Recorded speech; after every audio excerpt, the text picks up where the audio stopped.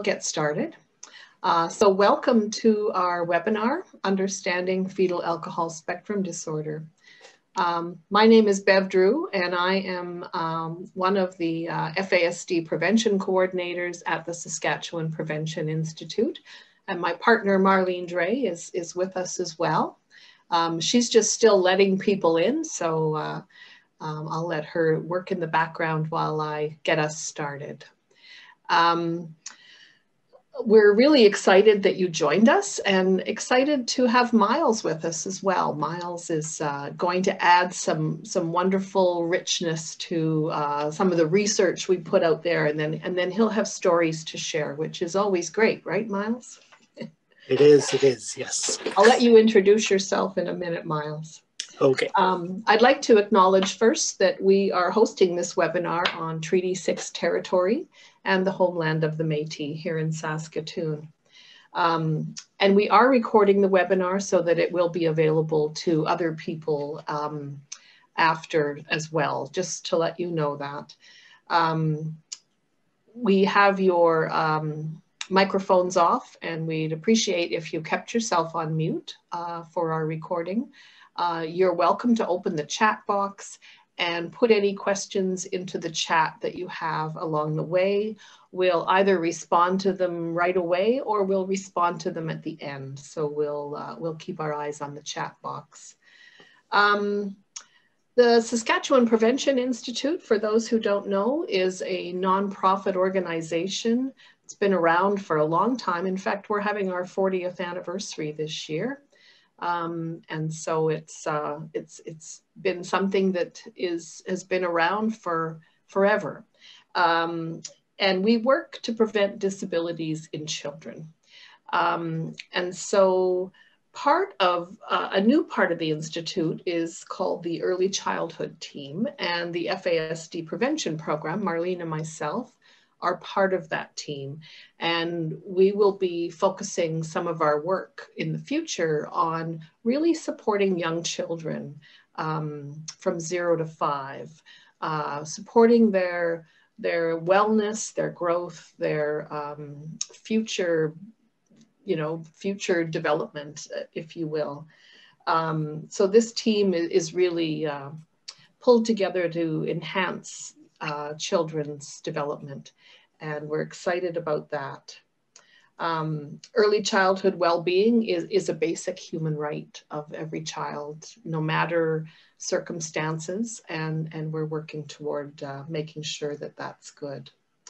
Um, our goal with this webinar is really to discuss um, how prenatal alcohol exposure uh, can impact the brain and body of a fetus growing inside, and uh, we hope that this will increase your understanding and uh, potentially lead to uh, a reduction in, in perhaps the incidence of FASD, but also um, when we have a greater understanding of what FASD is and how it's caused, we can provide more effective support for young children and, and into adulthood. Um, okay, next slide, Marlene.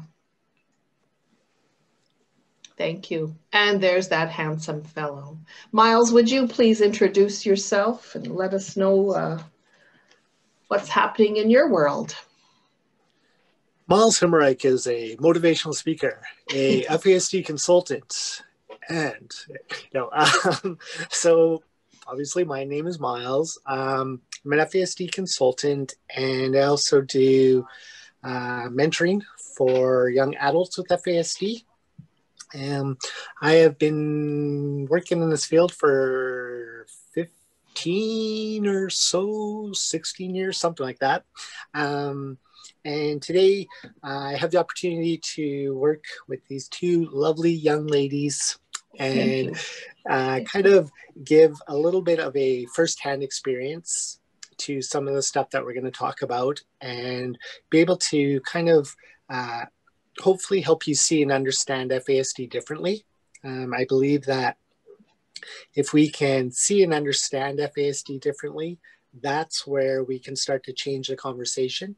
And when we can start to change the conversation and have those correct conversations, that's where we can start to move past the, the shame and the blame and the stigma that is so much attached to FASD.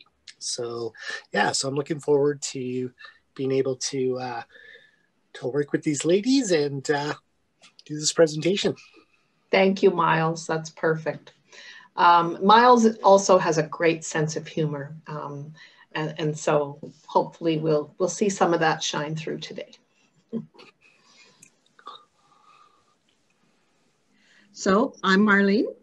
Bev introduced me a little bit earlier, but now you get a voice to go with the face.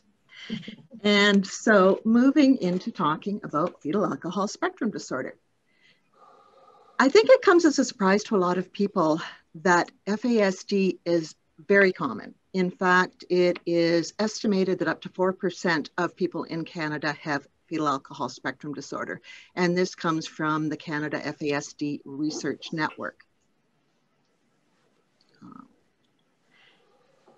And it is more common than cerebral palsy, autism, and Down syndrome.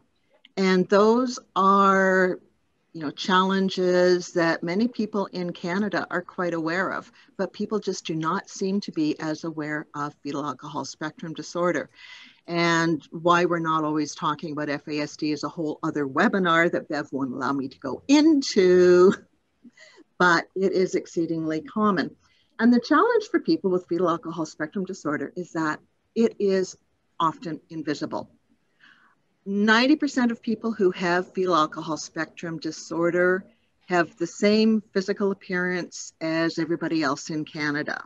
So it's really only about uh, one in 10 people who have very distinctive facial features, which are kind of like the wide um, eyes that look wide set. They have, it's very flat here where the philtrum is, and they have a very thin upper lip. Those are three distinctive facial features, but most people do not have them. So when it comes to FASD, quite often one of the primary symptoms of fetal alcohol spectrum disorder can be behavior. And because people are not understanding fetal alcohol spectrum disorder and they're only seeing the behavior, quite often people are looking at a child or an adult as someone who is not cooperating, someone who is being difficult, someone who's doing it on purpose. And this can end up becoming um, very negative for all of the people involved because the person with FASD is trying his or her best and the people around the person are frustrated because they're making incorrect assumptions about the person. And we end up with unrealistic expectations because we don't always understand FASD or that someone has FASD.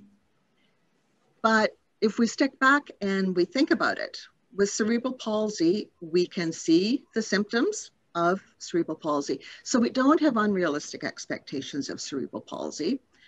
For someone with Down syndrome, we can recognize, because it's not invisible, that a person has Down syndrome and we don't set up unrealistic expectations for that person.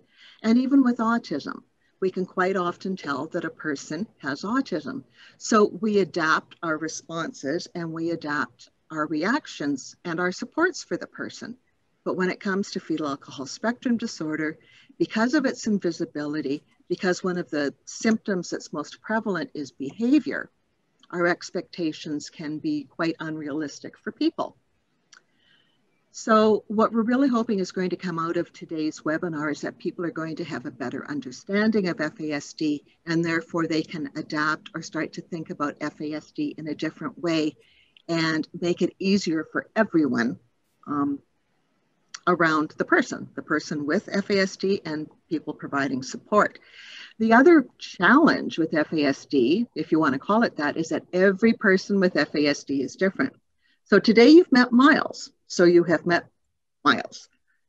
But somebody else with FASD will be totally different from Myles, and somebody else and somebody else. So we can't also make the assumption um, once we've learned from Myles that everybody's going to have the exact same reactions to everything as Myles. His experiences are his experiences, but they're amazing lessons for us. So when it comes to FASD, we have to think about it's individualized as well.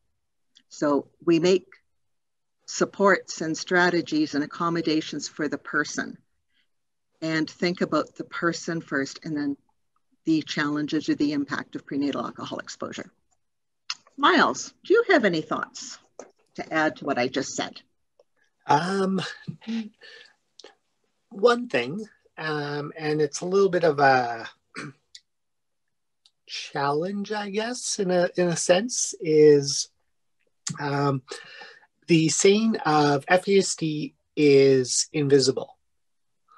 I think that uh, we've said that for a long time, but I think sometimes it's a matter of we are seeing FASD, but we're assuming that it's behavior, bad behavior, and we're jumping to punishment. So, is it really invisible? Or do we have to mm. start to better understand what we're seeing? That's just my my challenge. That's Thank an amazing thought. challenge. Yeah, that's quite smart. Um, yeah, is it really invisible, or invisible. or are we just not looking at it with the right eyes? Yes. Yeah. yeah. And that's one of the things that I love when doing a, a presentation with Myles is that Myles, you're not afraid to share things with me and to start to get me to look at things a little bit differently. So the next time I'm talking about FASD, I may not be talking about it being invisible. So I love the fact that we can all continue to learn. And thank you, Myles.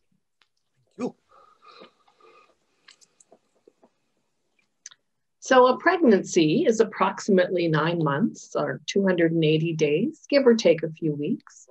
Um, and during that time, the baby, the fetus, is growing and developing. The cells are um, splitting and, and doubling, and each cell has its own job to do. So it knows where it needs to go and what it needs to do to create this lovely baby we are growing.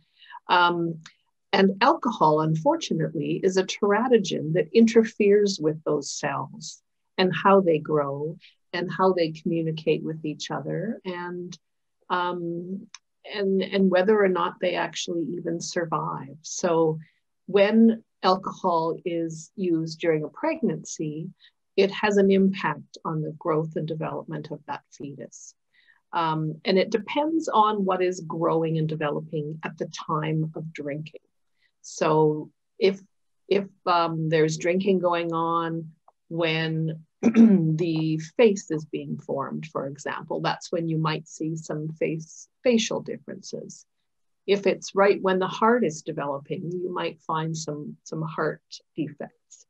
Um, so depending on the timing and on the amount of alcohol, the impacts can be very different. And, and that really, I think, helps us to figure out why individuals with FASD look so different from one another it's because the alcohol has an impact on them at a very different time. Um, so it affects different pieces. Um, other factors that, that will be involved there are genetics and nutrition of the mother and all kinds of things. So there's lots that is in play during a pregnancy. Um, the impact of fetal alcohol spectrum disorder or that drinking during pregnancy is that it lasts a lifetime. We do know, though, that if we understand what a child is born with and create a supportive environment, it can make a huge difference. And, uh, and children can grow and learn and develop and, and do very well. So part of that is, um, is knowing, uh, knowing the children and paying attention and then discovering, you know, what to do to support them. Mm-hmm. Okay, Marlene, there you go. All right. So fetal alcohol spectrum disorder is a medical diagnosis. And Canada was the leader in changing the name of this diagnosis to FASD. So um, many of you might be familiar with terms such as fetal alcohol syndrome, um, alcohol-related neurodevelopmental disorder, and, and many of the other things, uh, partial FAS. Here, it's called fetal alcohol spectrum disorder. And it is a spectrum. So there is a broad range uh, within the spectrum. So that means alcohol's range of impact on the person may have been different or will have been different. FASD is not outgrown. It is a medical diagnosis, you know, just like diabetes is. People don't necessarily outgrow diabetes. And there are other things that people we don't um, outgrow. But once again, medical diagnosis and something very important for people to keep in mind. FASD is very complex, as you're going to learn more about. It's inconsistent. Uh, Bev's talked about that a little bit. Each person with FASD is different. Each child with FASD is different. Every child has strengths and challenges.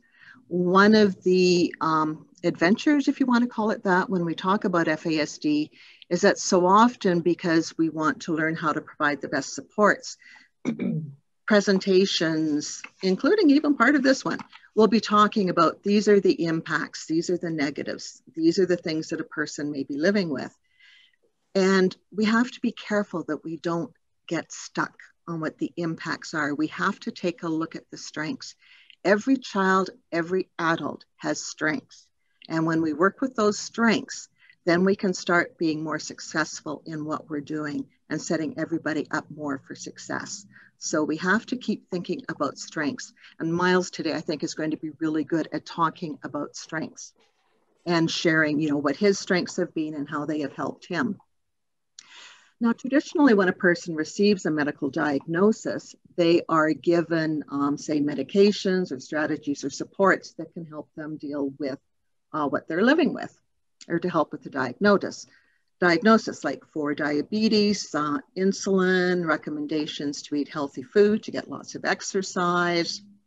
Somebody who has paralysis uh, could be given a wheelchair, given physiotherapy.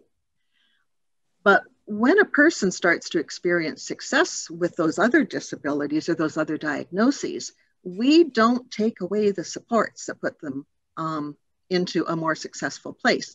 Somebody in a wheelchair who's able to get from this place to that place successfully.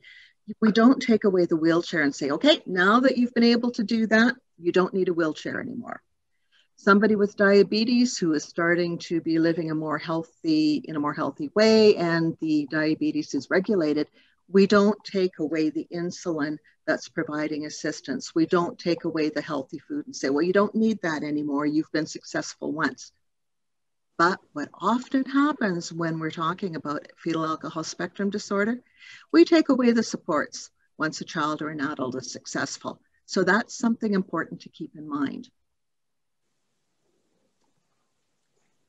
And we also need to remember that results can be inconsistent. A child might be very successful one day and then uh, have struggles the next day with the same thing. It's inconsistent. Keep that in mind. Once again, it's not behavior, not someone trying to be frustrating. It is someone living with a physical impact. So Myles, what hmm. Can you share about, um, say, your experience with the diagnosis of FASD and how people say have treated you and impacts and taking away help or never giving help or making incorrect assumptions? That's a lot of questions. Uh, I know. and one of the things that we talk about is, you know, when we talk about FASD, you know, just one or two questions at a time. Keep yeah. it simple. Yeah, yeah. Keep it simple. Just goes to prove. I like to learn. show how not to do it. Okay, we're always learning and growing. Um, so for myself, uh, there was little information when I was young about what FASD was. Uh, there was a diagnosis of FAS, fetal alcohol syndrome, and FAE, fetal alcohol effects. Uh, the difference being if you had facial features and they knew there was alcohol intake, then you're diagnosed with FAS, fetal alcohol syndrome. Um, if there weren't the facial features, then you're diagnosed with FAE, fetal alcohol effects.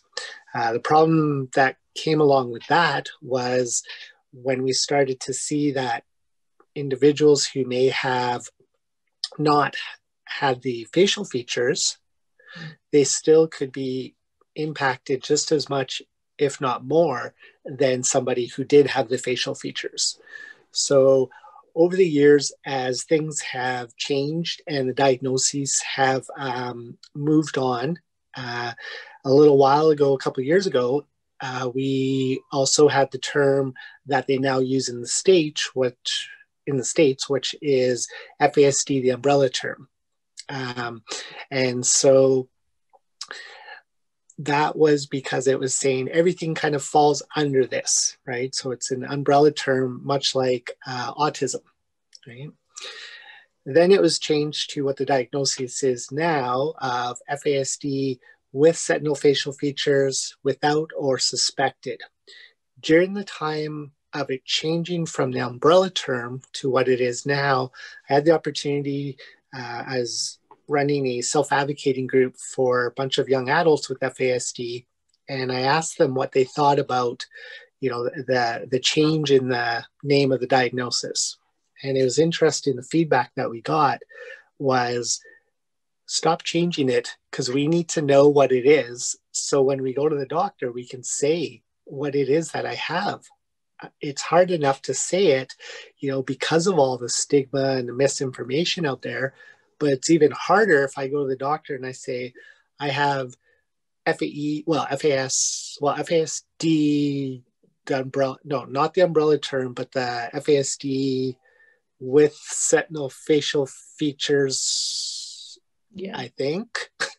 so it was a matter of we want to know what it is so we can make sense of it, right? And I thought it was quite an interesting conversation you know um, and the other thing was that kind of came to the point of we have fasd we're okay with that. So let's move on and figure out how to bring in those supports right? Um, i think that's where we get stuck a lot of times is oh we have to change the name or we have to change the way that it's worded to make it so that it's not harmful right and maybe we can get away from the the stigma and the shame and blame the conversation that I had with a few other young adults that I was with was that, you know, we we're okay with it, you know, and so we just want to know how to be best supported, right? And and that's where the focus needed to be, not necessarily about what the label was as much as what supports needed to be in place. So I think when we talk about the diagnosis, it's important to have it. It's important to go get it to know what supports need to be put in place, but focusing on the strengths and the individual's uh, sense of purpose is what's even more important than getting maybe those four letters, right? Very wise words. Mm-hmm. We do know that FASD is a brain based disability, and it's called that because uh, the brain develops throughout all nine months of pregnancy. So we know that if any alcohol is consumed, that the brain is affected. Um, and of course, the brain is, is our motor that sort of runs the rest of our body, everything from digestion to movement uh, to speech. So um, it affects other areas. Um, depending on alcohol's impact, someone with FASD, as Marlene said, will have a, a range of issues, uh, also a range of strengths. Um, and so um, the good news, uh, I think, is that we have learned so much about the brain in the past few decades, and we know that the brain can change. And with the right support and, and work, um, someone with FASD who has some, some damage in their brain or, or something not quite working right, um, the brain can be uh, trained to sort of work around that. It doesn't mean they won't ever have issues again in their life, but it means with the right support, um, things will work a little easier. So, um, early intervention is important. The earlier we can get in there and provide those supports, the better. Um, and, and it may take a lot of practice to learn something in a different way, but it's very possible more repetition, more practice, that kind of thing. Mm-hmm. When it comes to brain communication, one way that could be used to describe it is to think of traveling from one place to another. So Traveling from one place to another, it can be fast or it can be slow. It depends on what road you take. So a typically developed brain sends messages as though the messages are traveling on a highway. The messages speed along, the highway is clear, there aren't potholes, and after a snowstorm, it actually might even get plowed, although in Saskatchewan, one never knows. Sorry, that's an aside. But the messages are clear, they speed along, and they get to where they need to, and they're able to move quickly. A brain not affected by alcohol, as I said, may work this way. For example, a child may remember after lunch to pick up the plate and the glass and to put it in the sink and put it away without being reminded, or sometimes just do it quickly after being reminded. But on a paved highway, even in Saskatchewan, a snowstorm can happen. Some of you may remember something that happened about a week ago. And in our story, the snowstorm may be something that has happened, say, in a child's household or environment, such as watching, say, a family fight or a sudden loud noise in daycare or maybe the child's having stomach pain, but it's something that just kind of throws things off a little bit. Well, what happens then is that, you know, even for uh, someone who may have a typically developed brain, the message may move a little bit more slowly because of this snowstorm, but the message will still most likely reach the point where it needs to go to. It may reach the destination. Ah. So for a brain that may have been impacted by prenatal alcohol exposure, sending messages in the brain may be a little bit slower with some tasks, not all, but with some tasks. So it might be more like going down the one lane dirt road that has bumps and potholes. The message still successfully gets there, but it may just take a little bit longer. It's maybe got a few more things to work around before it gets there, but the message can get there. And the child may need support, may need more time to do something, and the process just might take more energy for the child or for the adult. And this can make the child tired.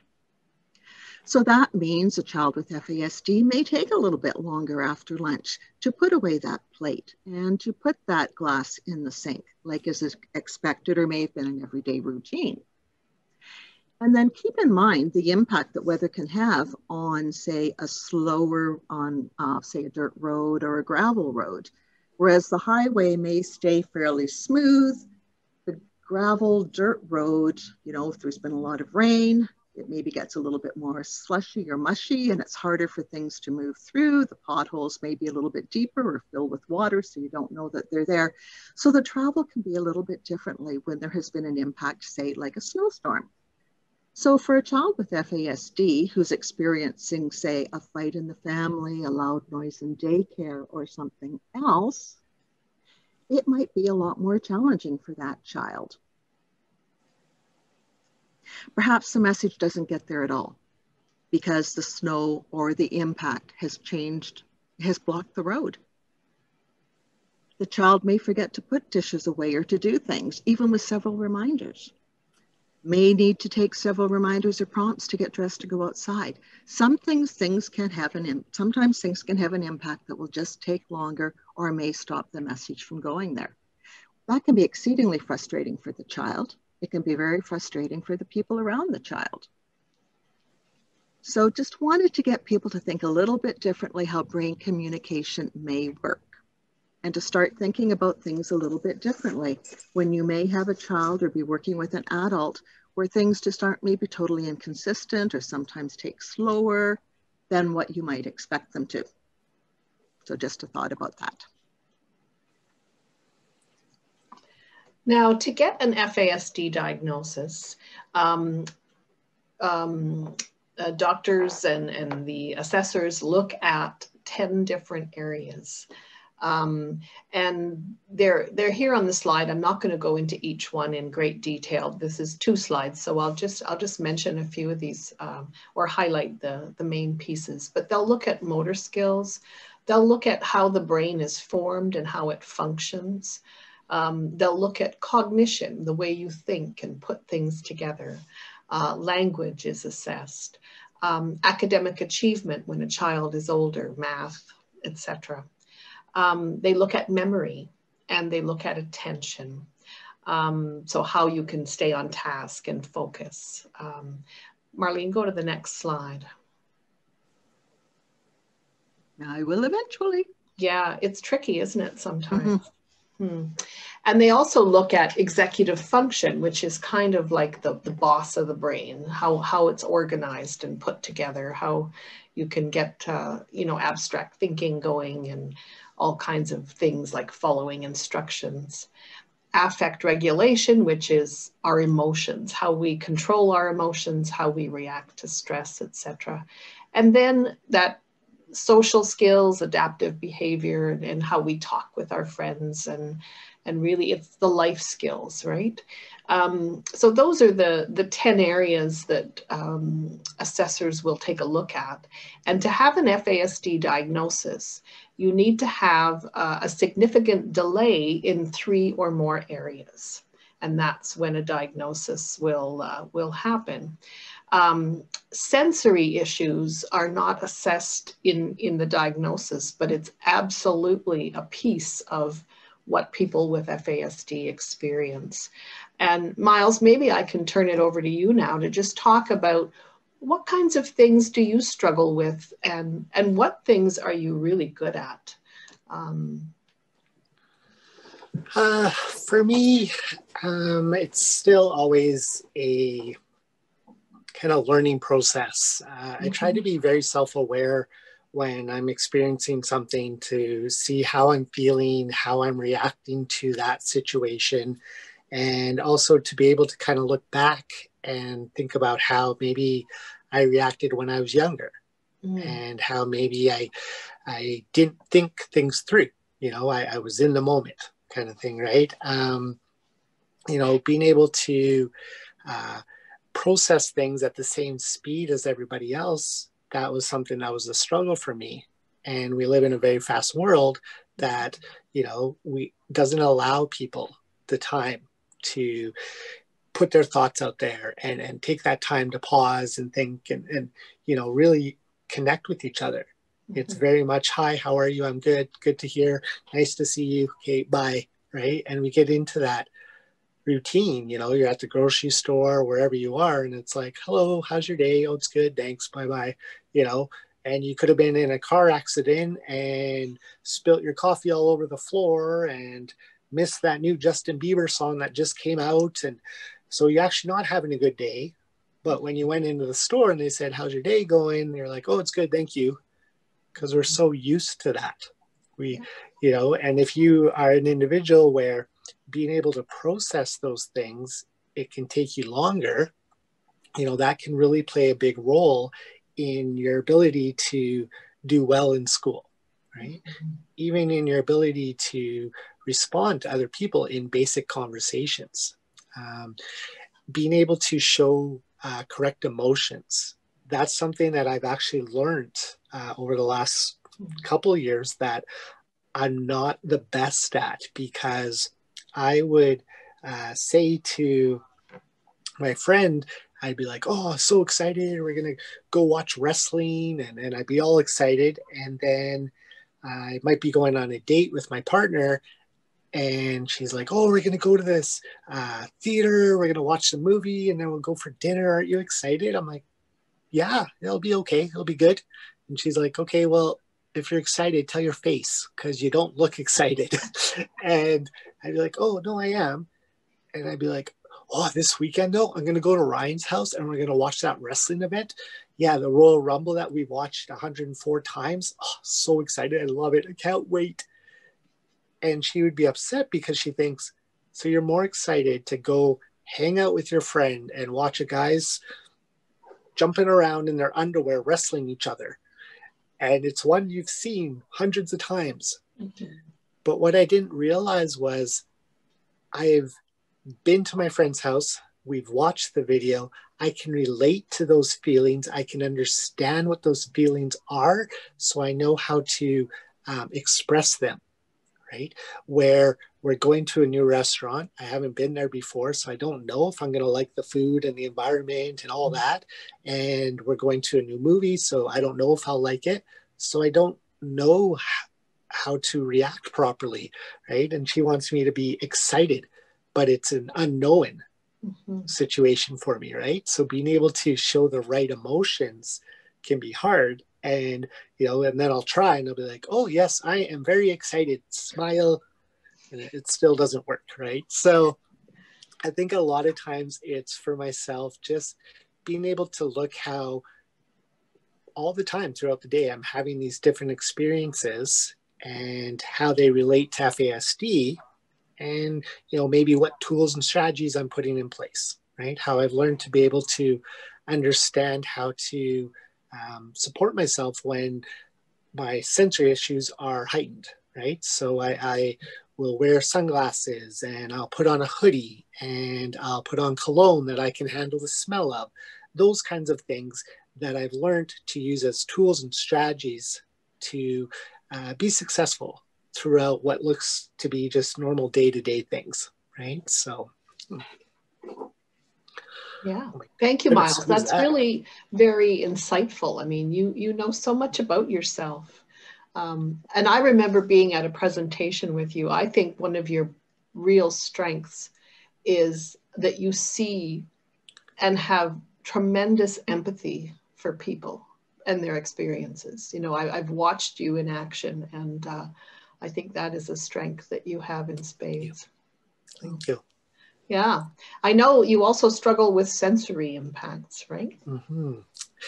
Yeah, this uh, this photo here that you have is uh, one that I took not even that long ago, maybe a month or two ago, something like that. Um, I was on the ferry and um, I, I think I may have not had much sleep the night before. And so when I don't sleep, my um, sensory issues are even heightened even more. And when you have heightened sensory issues, um, it's things that affect people the light, the noise, the smells, things like that. But it's to a point where it's actually physically painful right? And so uh, a light will actually be physically painful. A smell will actually be physically painful. And so here I was on the ferry and I was charging my phone. And so I couldn't have my uh, music playing. And they had the um, hockey game uh, blasting on the speakers. And then there's people walking all beside me and there's just so much going on and i was so physically uncomfortable i i just wanted to scream right mm-hmm. But i knew that that's not going to look good right you know had i been a five six year old yeah. child and reacted that way people would understand and they'd probably maybe look and go oh isn't that cute but as a grown man when you do that people don't always think it's cute I mean, they'll think I'm cute, but they don't think my behavior is cute, right? Because they don't understand it.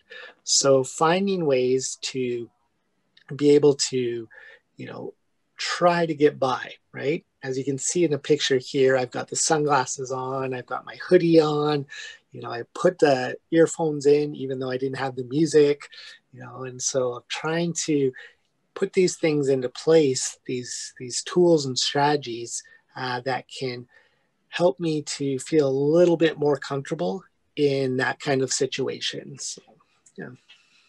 Yeah. It's like you're trying to shelter yourself from the outside world so that you can mm-hmm. cope. Yeah. Yeah. Mm-hmm.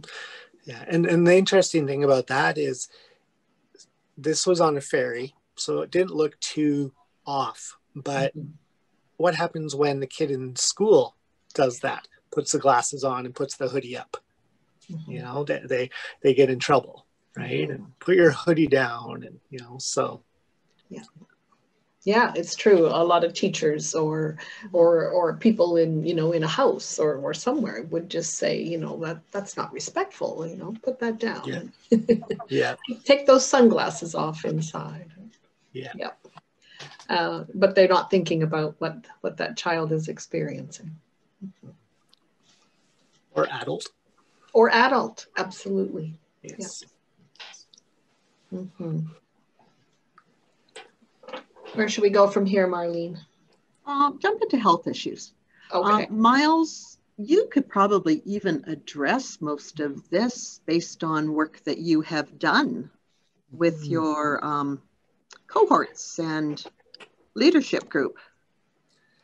Yeah, um, I had the opportunity with uh, two colleagues of mine that uh, also have FASD. We worked together with some people at the uh, University of BC and we put together a health survey and we sent it out and it went to over 500 people um, all over the world. We had people in Norway, Australia, the States, Canada, um, individuals filling out this survey. And when they returned the survey after they filled it out, we started calculating the results of their answers. And so what we did was we asked, um, do you have scoliosis? And then we gave the options of yes, no, or don't know. Um, we asked, I believe it was over 200 different uh, areas of health, anywhere from bone uh, to vision, um, hearing. Uh, we asked about uh, possible cancers, many different things like that. And what we ended up finding out was some really, um, really astounding information. One of the things that we found was the individuals that responded to the survey, again, this was over 500 people, um, the average age of people responding was 27 and a half years of age. The reason that that was important was we had people in their 20s, 30s, uh, talking about having things like early onset dementia, which is defined as you would get that when you're in your 60s. We had individuals in their 20s and 30s um, having early onset dementia, which made it, I believe it was 186 times higher for individuals with FASD than general population to have early onset dementia. We had uh, women reporting going through premenopause or full menopause um, before they were in their early 20s. Um, we have, uh, for myself, I personally, I have scoliosis, osteoarthritis, hip dysplasia, degenerative disc disease in my neck, um, quite a number of different health issues. But the thing is that the arthritis, the scoliosis, all of those were things I had and was pain and discomfort I was experiencing when I was 12, 13 years old. So, what we found was that though it seems like the brain development uh, can sometimes take longer in certain areas, it's almost like our bodies are breaking down faster. And it makes sense if you think about the fact that we know alcohol intake during the pregnancy uh, affects the brain development does it not make sense that the alcohol would affect the development of the bones and the tissues and the joints? It's not going to go, excuse me, bones and tissues. I'm just going to work my way up to the brain. It's obviously going to be affecting those things. And so, looking at FASD as a whole body diagnosis as something that has been uh, really interesting uh, findings that we've had. Uh, we actually just got um, the survey itself published in a book uh, probably about four or five months ago. So uh, getting the results published there, and so that was really exciting. But uh, it was really uh, very eye-opening because it's something now that we know we need to look at, and it's something that we need to have parents and caregivers and loved ones uh, be aware of this when their child that's 10 11 12 years old is saying that their knees hurt maybe it's not growing pains. Maybe they have osteoarthritis. Maybe they have hip dysplasia scoliosis because it is very possible is what we found now so yeah. Yeah that was very important research that really highlighted how FASD is not just a brain disability, but can mm-hmm. be the whole body can be affected. Mm-hmm. Yep. I will just mention we're, we had a beautiful plan for this webinar and I'm jumping in and trying to throw it off for Bev. Oh, you're not throwing anything off. uh, I'll just mention that this chart on health issues and there is another chart on brain domains. Uh, these come from uh, Canada FASD Research Network and they have a database of diagnoses. They are the first, mm-hmm. Well, Canada's the first in the world to actually have a database on diagnosis. And so what they have done here is this chart comes from what they have learned from diagnoses that have been shared with them from across Canada when it comes to health issues. And so um, people with no FASD, you know, would be the blue line and the FASD is the yellow line. So it definitely shows that in those areas, there's been an impact due to alcohol. So I just wanted to share where that was from. Thank you. So FASD is often misdiagnosed. Uh, some of the things that it has been diagnosed as has been autism, um, oppositional defiant behavior, um, ADHD. ADHD. That's one of the big ones. So you can find um, a lot of children with those diagnoses, but the problem is they are really living with prenatal alcohol exposure and so, what may be working for a child with autism or um, ADHD or something else is not necessarily going to work for a child or an adult uh, with FASD. So, it is really frustrating for everyone when FASD is misdiagnosed. So, it's really better if you can get people in to get an appropriate diagnosis so that we can, so it can be figured out what is the best way to provide supports and find out what's going to work. Um, as mentioned earlier, behavior can be a symptom of FASD. And then as what Myles has shown us is it's not only because of say the brain-based impacts of prenatal alcohol exposure, but also those physical aspects such mm-hmm. as aching knees or aching joints or stomach problems that people may not even be aware of. And if you think about that, how that can impact a child or an adult and say even say their behaviors. And another challenge that many people, and I know you've talked about it too, Myles, is sleep is quite a challenge. So it's often misdiagnosed as something else and given maybe the wrong supports, and it's often misunderstood. And as I've mentioned before, quite often that's related to um, behaviors where people aren't understanding what is happening. And when we're not providing the right supports or not understanding or being there in the way that we could be, this lack of support or appropriate supports can lead to what used to be called secondary disabilities. Now it's called adverse impacts or secondary challenges, but it may be dropping out of school where uh, a student has just had enough with being misunderstood, being labeled, um, not being treated well by peers or other people who aren't understanding. They may get in trouble with the law as a victim, because many people are victimized, or they may end up falling in with the wrong group and becoming in trouble with the law as a perpetrator. Um, they might end up being homeless if they've had some trouble, maybe lost their job a few times and just have no way of making money or people aren't taking them in because they're not understanding why things are happening, or they're missing out on the strengths, or not understanding that this person has tried so many times, is so diligent, is just such a hard worker, but has some challenges because of the disability. And they can end up having mental health problems too. And so there are many things that we could make so much better if we could get an appropriate diagnosis and if we had more people understanding fetal alcohol spectrum disorder.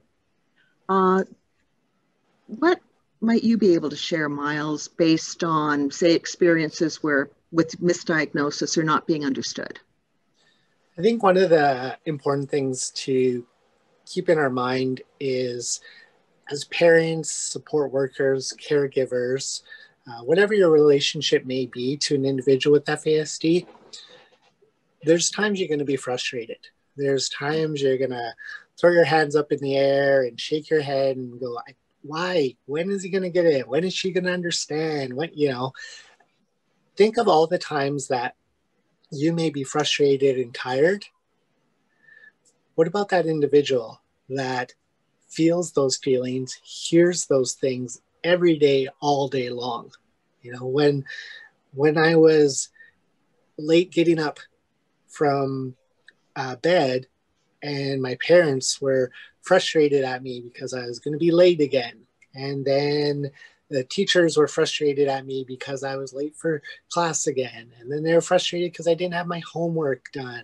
And then the kids were frustrated because I was being weird and silly and different. In all of those situations, my parents were frustrated and then I left and their day went on. Teachers were frustrated. I moved on to another class. Their day went on. Kids were frustrated. I went away. Their day went on.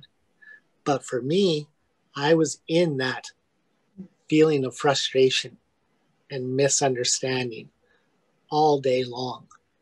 You don't understand what's going on. You don't get why I'm doing what I'm doing. But you know what? I don't either. And that's what's the tougher part is I look in the mirror and say to myself, why can't I just be like everybody else? Or you're right, I did do that yesterday. Why can't I do it today? You think you're tired and frustrated? Imagine what it's like for an individual who is having to hear that and feel that all the time, all the time. right? What was that? Oh, no, nothing. I, I thought I was saying something. So just um, I think that's something that's really important to understand is the biggest things that you can offer is to be that safe person and offer a safe place for that individual. So maybe that means when they come home, they're not doing homework, right? You know, and and maybe they didn't put their shoes away, um, or they didn't hang their jacket up. Maybe we can let that go for today, because there's going to be plenty of other things that I'm going to do that you can get on me about right? But maybe I don't need you on me about everything because I've had people on me about stuff all day long and I've been on myself too. So allowing yourself to be that person that if you're their loved one, their support, their caregiver, whatever your relationship may be, try to be that one person that is that safe person that allows them to come to a safe place whether that's home, that's your office, that's your time when you guys go walk in the park, just that time away from all of this judgment and all of these labels and all of this stuff, just to have time with a person that I can feel safe and okay with is huge and can make a huge difference. More wise words, Myles. Well said. Wouldn't it be wonderful if all the places you were in were safe? throughout mm-hmm. your life, right? If you went to yeah. school and it felt like a safe place and home yeah. and community and a birthday party, whatever, right? Yeah. Um, yeah, yeah, it would be nice. And um, it doesn't mean that the, the safe adults in life can't teach you things and help you learn and grow, but doing mm-hmm. it gently and with compassion and understanding would be yeah. so much better, wouldn't it? Mm-hmm. Yeah. And we, we certainly know that success is absolutely possible um, for children and adults with FASD. Um, Myles is an amazing example. He has led uh, a very successful life. He's absolutely had some struggles during his life. We've, we've heard, uh, you know, in other presentations about some of the things you've gone through, but you have been very successful. Um, and what we need to help children and adults be successful is that understanding and compassion, um, some knowledge about where their difficulties lay, so that diagnosis that tells us, you know, here's the areas that really need help. And then we can work to uh, boost those up. Um, that's, that's huge, right? That will really help that person to grow and learn. But to use their strengths to, to get there is, is ideal. Um, but absolutely, it takes a reframe in our mind, right? instead of saying that kid's being bad, that kid is just on my nerves, right? No, that kid is struggling with something in the environment or within their body, and they need a safe, supportive person to be able to come to. Um, we've got about four minutes left. Um, so I wonder, Myles, if you would just end with what has helped you to be successful in your life, and then we'll we'll possibly have a few minutes for questions. So if anyone has a question, put it in the chat box. Uh, so yeah, I'll uh, just answer quickly with three three things. Hmm. One is routine, two is repetition. Routine and repetition by understanding what my day is going to look like, having an idea of what's happening gives a sense of comfort. Mm-hmm. Being able to do something over and over again gives me the opportunity to better understand it. Maybe I struggle with grocery shopping because of all my sensory issues, but if I go to the store and I know that I get the same six, seven things, then I can actually be successful at grocery shopping, right? So that routine and repetition. And the third one is sense of purpose. You have to have a reason to get up every day. There has to be a reason to to do what it is that you were put on this earth to do to find that purpose. So help be that guide because individuals are going to spend anywhere from say five six to 10 to 12 years in something called school that is going to give a lot of mixed signals on what their direction in life should be and a lot of mixed signals on what success actually looks like. Maybe I don't graduate and go become an accountant, but maybe I love and I'm great with animals and I start working towards that when I'm in grade seven. There's my sense of purpose. I get to work with these animals and I'm really good at that, right? Mm-hmm. So focusing on trying to implement routine or repetition and finding that sense of purpose. Yeah, wise. Um, so yeah, there's there's lots there that uh, really makes a difference for you. That routine, having a structure in your day, repetition, so you can get things over and over and, and master them and learn them and feel comfortable. And then that sense of purpose. Here's where I'm going in my life, and this is what's important to me. Yeah. So the repetition makes me think of your uh, wrestling show. Mm-hmm. You're very comfortable with that, right? Yes, yes. There are a few questions about, or one question about diagnosis, and, and someone, Marlene, you have responded about uh, where it's done. Uh, we can give you more information about that um, in an email uh, with some specifics if you'd like. Um, if there are no other questions, um, Myles, do you want to have the last word? Um, I think it's just important to make sure that we're having these conversations. Because, like I said earlier, that's how we get past the shame and blame and the stigma of FASD mm-hmm. is talking about it. Because a lot of this stuff that we covered here will translate over to other disabilities such as autism, ADD, ADHD. So, understanding that those ones are normalized, and as a society, we're okay talking about these other diagnoses and these other disabilities, we should be about FASD too, right? So being able to change that conversation and be able to have that conversation is what's going to move us in the right direction. So there you go. Great. Um, we want to thank you very much for uh, joining us today. Um, it's been wonderful having Myles here to really uh, support our, mm-hmm. our our talk um, makes it a lot more real for everybody to hear from you, Myles. Thank you so much. Um, yeah, anything to add, Marlene?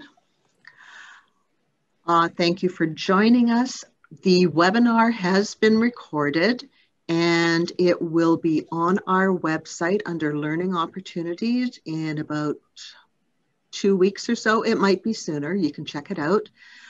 And I will be sending out an email uh, with an evaluation on today's session. So I would really appreciate it if uh, everyone who has been able to take part in this can uh, respond to the survey evaluation. It helps us with the work we do, helps gives us ideas on potential uh, future webinars. And uh, yeah, we just really appreciate everybody having joined us to learn a little bit more about FASD. It's not easy to do everything in one hour. There is so much more to understanding FASD, but um, it might even sometimes come down to if something is happening with you know, someone, you know, say a child or whatever, and you're thinking, hmm, this is really strange. There seem to be some, a lot of things that I might not have expected to be going on. You may want to think about whether or not it may be FASD and look at trying to get a diagnosis. And if you can't get a diagnosis, just put strategies, do things to provide support as best you can. And when things seem to be working, think, well, maybe I can try that again. Good. And, yeah, thank you. Thank you, everyone. And uh, we'll Myles, for joining us. Another time. Thank you, everybody. Good to see you, Myles. Good to see you too, my friends. Bye bye, everyone.